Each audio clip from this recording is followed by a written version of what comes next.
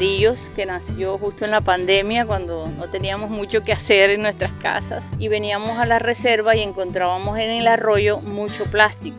Entonces decidimos pensar en una estrategia para que los campesinos entendieran la importancia de no arrojar el plástico al arroyo, como muchas de las prácticas que se hacen en la ciudad y en el campo. Y buscamos por internet y encontramos esta maravillosa idea y decidimos enseñársela a ellos, pero eh, con un incentivo. Es decir, primero les dijimos vamos a darles 500 pesos por cada botella que traigan, pero no traigan muchas.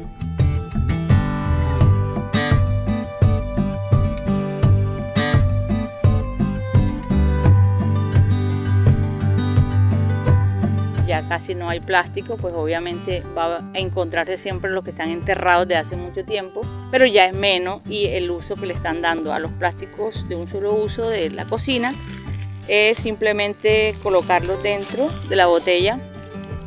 Deben estar limpios y secos para que no se vayan, no se creen microorganismos ahí dentro de la botella. Y el objetivo de estas botellas es construir un aula ambiental multipropósito aquí en la reserva.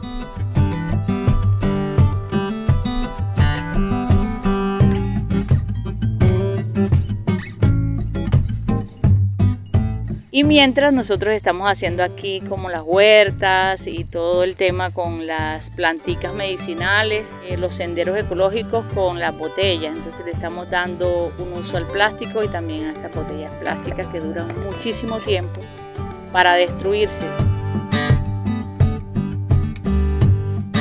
Adicional a esto, invitamos a que todos también la bolsa de leche, pues la volteemos, le echemos un poquito de la lavada y con esto lo que hacemos son talleres para los niños eh, sembrando planticas acá y son inclusive más resistentes que las que encontramos en la ferretería para el tipo de, de abono o plantar semillas o árboles.